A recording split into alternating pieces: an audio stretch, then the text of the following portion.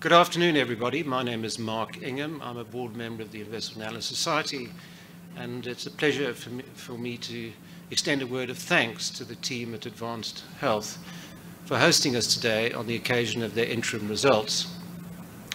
This is a, a very vigorous, dynamic company that's uh, really shaping change in the healthcare landscape and a sort of behavioral aspects that go with that.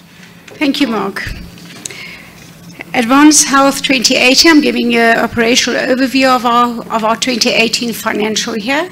It was characterized by significant changes in the healthcare industry. If you, if you tuned into healthcare articles in the media, there's been a lot of changes with the HMI Competition Commissioner investigation, so we all know private healthcare is in trouble in South Africa.